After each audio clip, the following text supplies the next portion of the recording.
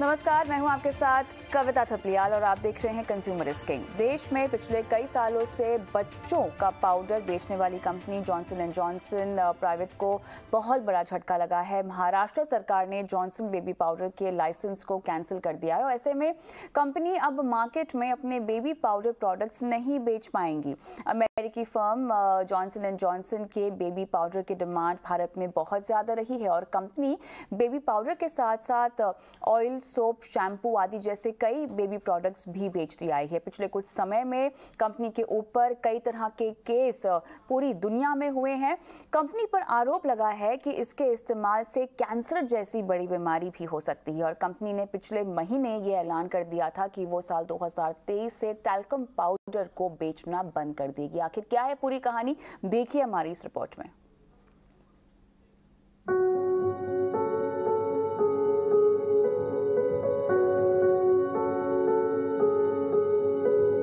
Baby products की बात होती है तो सबसे पहले दिमाग में जॉनसन एंड जॉनसन का नाम आता है। सालों से ये कंपनी पूरी दुनिया में बेबी प्रोडक्ट्स का कारोबार करती है। Company baby powder, oil soap, shampoo जैसी कई बेबी प्रोडक्ट्स बेचती है, लेकिन महाराष्ट्र सरकार के एक फैसले से इस कंपनी को तगड़ा झटका लगा है।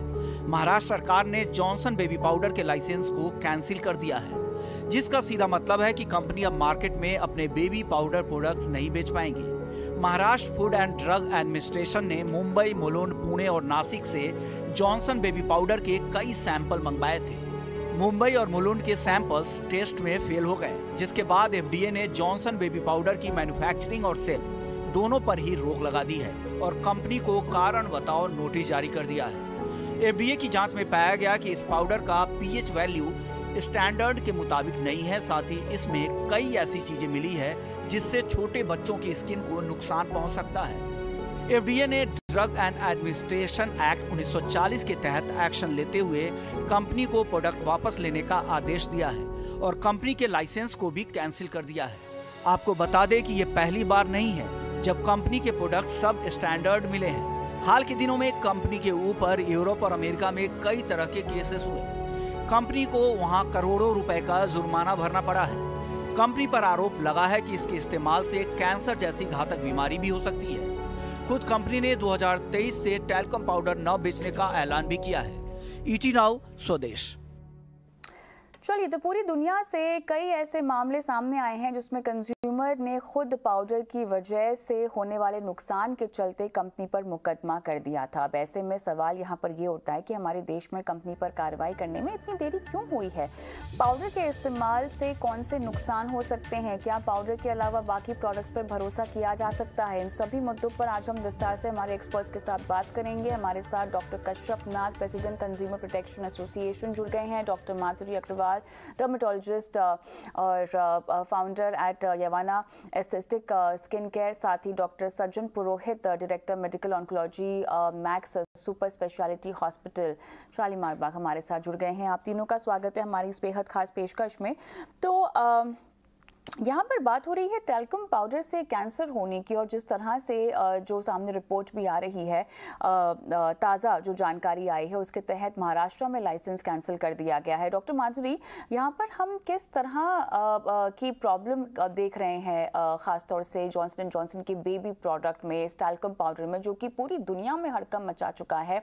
कैंसर होने तक की बात यहाँ पर सामने आई है। एज अ डर्मेटोलॉजिस्ट जब मैं स्किन स्पेशलिस्ट की बात करती हूँ, हमारे लिए अगेन बेबी पाउडर नेसेसरी नहीं है स्किन के लिए। सिर्फ़ हम सजेस्ट करते हैं कि गर्दन है या फोल्ड एरियाज़ है, वहाँ पे लगाइए।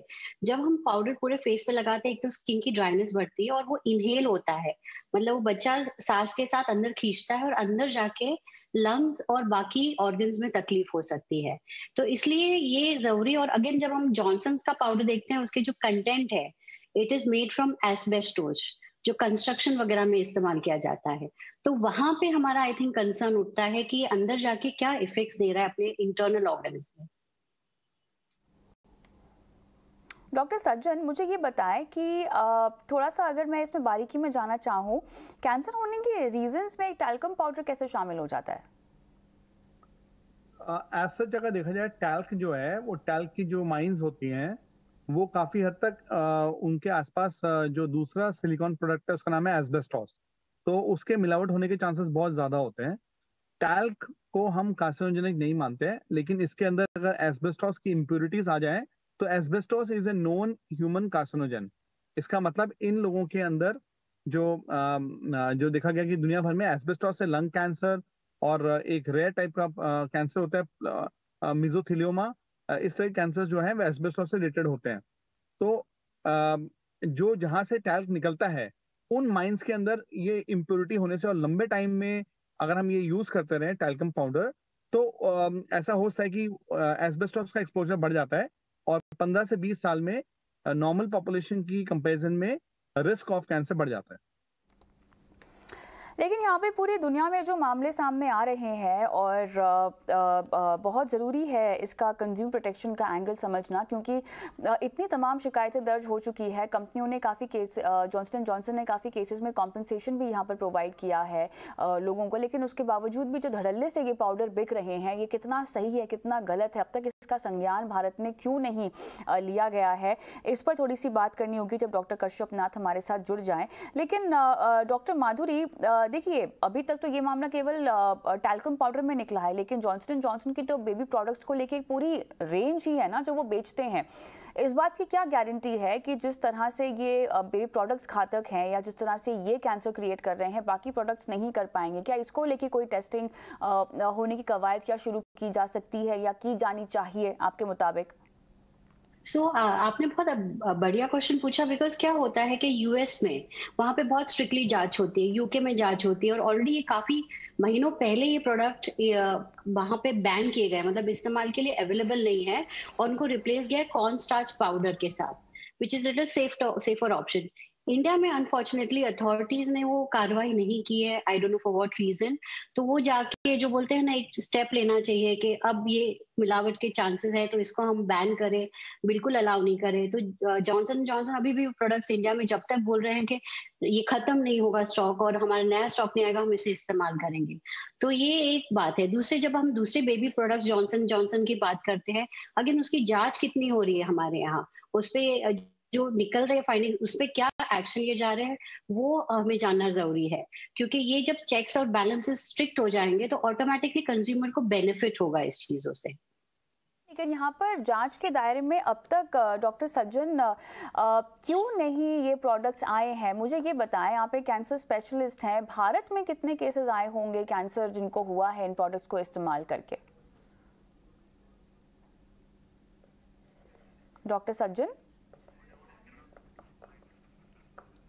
आपको मेरी आवाज़ आ रही है डॉक्टर पुरोहित? चलिए डॉक्टर माधुरी। चलिए हाँ तो मेरा सवाल जो डॉक्टर सज्जन के लिए था मैं आप ही के सामने रखना चाहूँगी। खैर आप तो एक डर्माटोलॉजिस्ट है मुझे ये कैंसर स्पेशलिस्ट सवाल पूछने थे लेकिन शायद वो उनकी लाइन कट गई है। बहरहाल हमारे साथ डॉक्टर कश्यप नाथ जुड़ गए हैं क्या?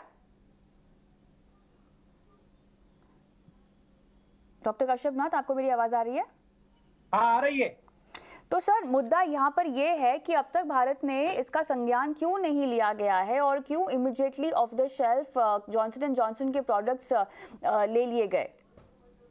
एक्चुअली भारत में महाराष्ट्र में ही 2013 में इसको बंद कर दिया था लेकिन रिवॉक कर दिया था लेकिन फिर से अभी वापस उन्होंने अभी ये जो उनका जो लाइसेंस प्रोडक्शन लाइसेंस है, वह वापस फिर से ले लिया है।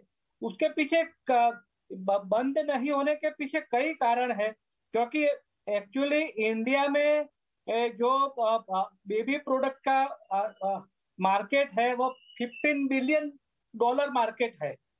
टोटली और ये जो बेबी पाउडर है, उसका सिक्सटी टू सेवेंटी परसेंट जो मार्केट है, वो जे एंड जे का है। तो इसकी वजह से उनके इतने साइड इफेक्ट्स और लाइफ थ्रिटनिंग डिज़ीज़ होने के बावजूद इसको बार बार वो अपने अलग अलग लीगल रास्ते से इसको प्रोलोंग करते हैं। हमने देखा कि जब एक बार ये लेबोरेटरी में उसका सैंपल फेल हो गया तो उसके बाद तुरंत अथॉरिटी को वो सैंपल वापस लेने चाहिए थे, लेकिन वापस लिए नहीं और उसको उन्होंने टेक्निक टेक्निक अपना के सेंट्रल लेबोरेटरी कोलकाता को भेजा। इन बिटवीन इनको वो सेलिंग का टाइम मिल गया कि जिसकी वजह से वह अपनी जो प्रोडक्ट है उसको ज़्यादा से ज़्यादा सेल कर सके। अभी अमेरिका में भी इसके लिए हज़ारों केसेस वो दाखिल हुए हैं इसके खिलाफ। लाखों डॉलर उनको देने पड़े हैं। लेकिन अमेरिका में भी ये इसी प्रकार की टेक्निक वो लीगल जो रास्ते हैं, वो अलग अलग अपनाते हैं। तो अभी अमेरिका में उन्होंने क्या किया है कि ये ही जे एंड जे कंपनी ने अपना एक दूसरा पार्ट खोल दिया कंपनी का और जो भी जितने भी हज़ारों लॉ सूट थे वो सभी उसमें डाइवर्ट कर दिए। अभी उसमें डाइवर्ट करके ए, फिर उसी कंपनी ने बैंक वहाँ पर फ़ाइल कर दी।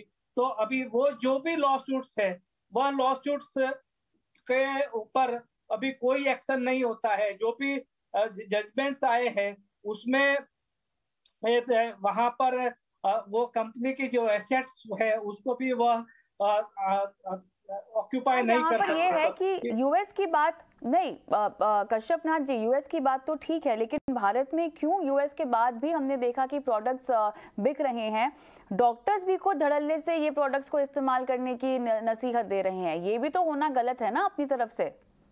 हाँ अभी इतनी अवेयरनेस नहीं पहुँची है लोगों में भी अवेयरनेस नहीं हुई है। लोगों को कैंसर हो रहा है इससे बड़ी अवेयरनेस की और क्या बात हो सकती है? डॉक्टर सज्जन पुरोहित आप शायद जुड़ चुके हैं मेरे साथ अभी।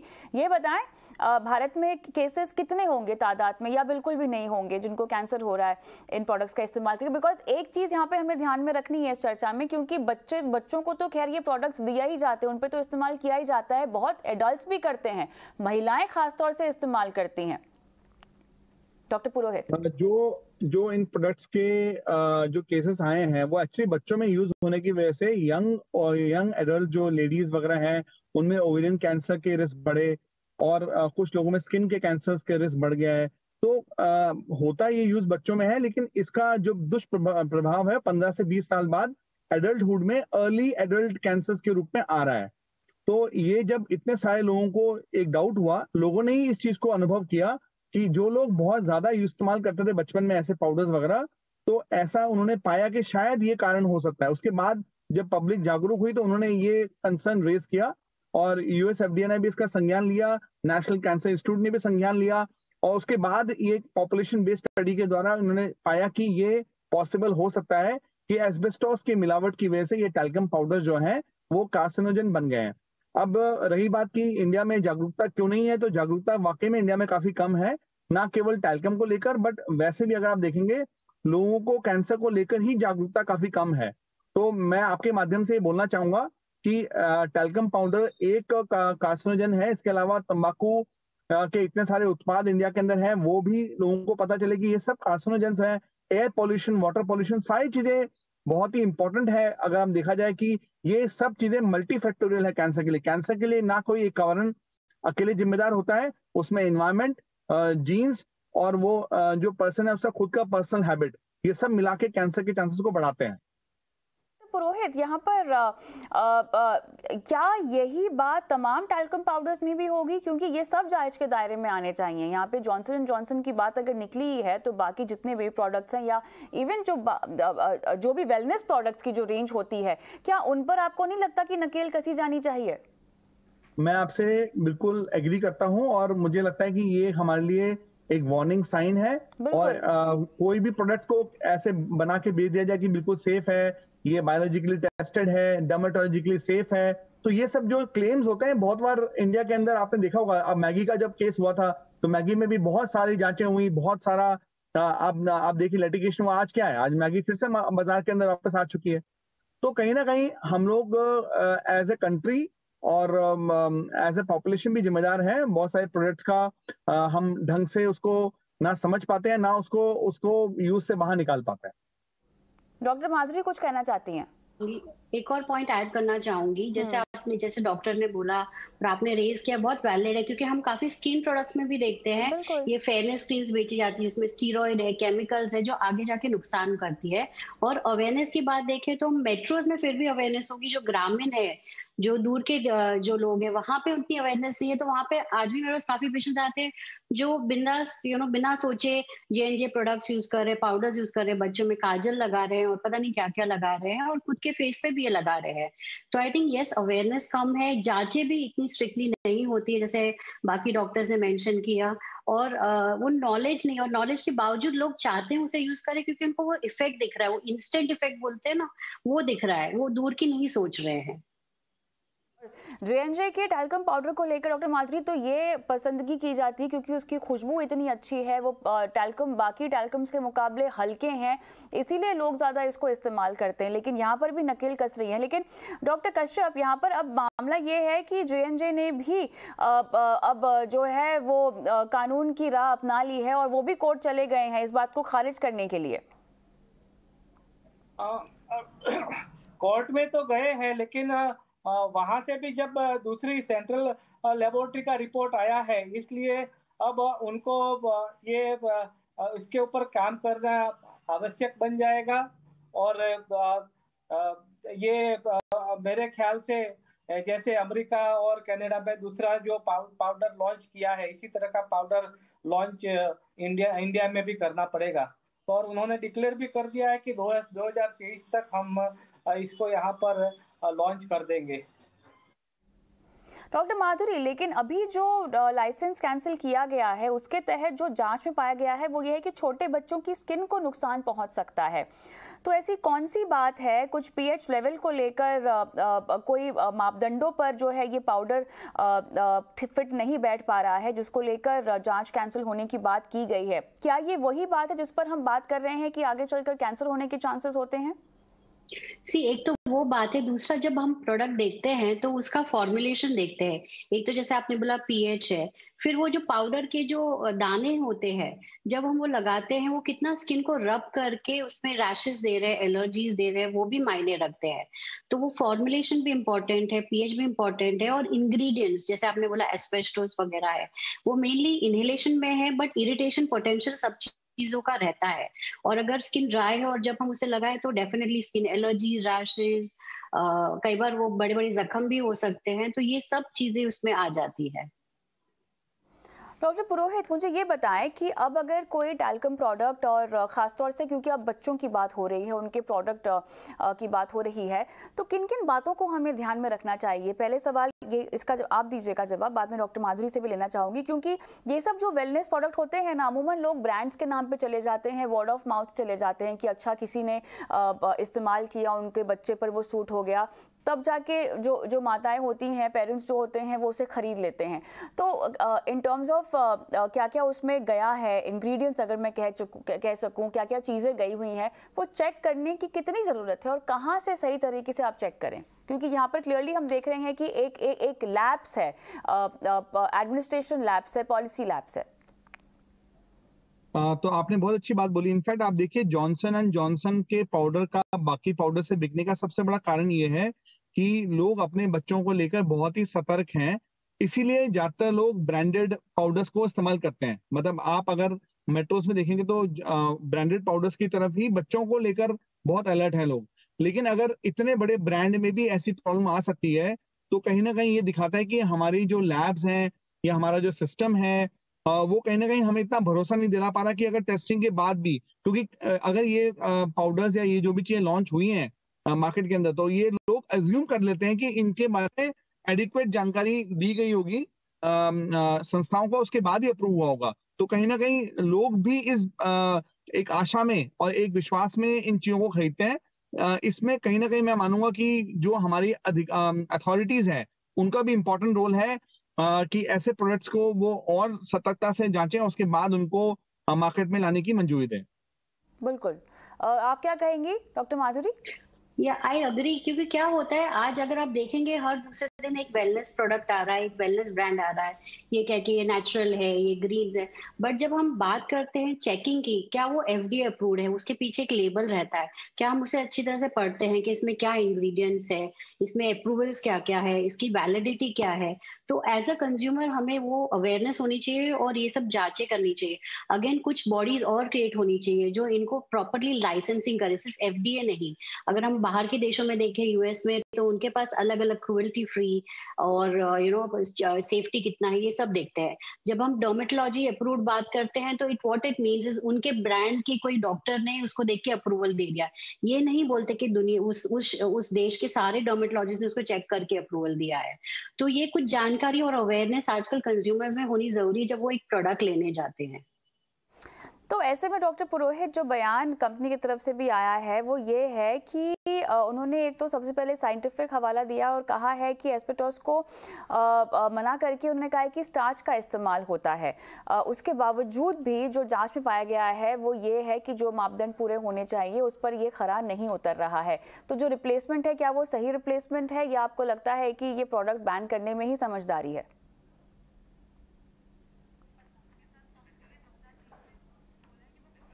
डॉक्टर पुरोहित नहीं है। डॉक्टर माधुरी आपको मेरी आवाज़ आ रही है? क्या आपके सवाल का जवाब हाँ. देंगी? हाँ। आप क्वेश्चन प्लीज़ रिपीट करेंगे मेरा सवाल ये था कि अब जॉनसन एंड जॉनसन ने ये कहा है कि उन्होंने अब स्टार्च का इस्तेमाल करना शुरू कर दिया है एस्बेस्टस के ज़रिए की जगह। तो अब एक तो रिप्लेसमेंट क्या ये सही है? और अगर रिप्लेसमेंट सही नहीं है तो क्या रिप्लेसमेंट होनी चाहिए? या आपको लगता है कि जो लाइसेंस रद्द हो गया है यही बढ़िया विकल्प है हमारे लिए? आई थिंक uh, जो कॉर्न स्टार्च का ऑल्टरनेटिव है उनके हिसाब से it's a better alternative than asbestos ये नहीं है कि ये डेफिनेटली स्किन फ्रेंडली है या डेफिनेटली स्किन uh, को नुकसान नहीं होगा। हो सकता है कुछ सालों बाद हमें पता चले इसका भी कुछ यू नो दुष्प्रभाव था या कुछ नुकसान हो सकता था स्किन में।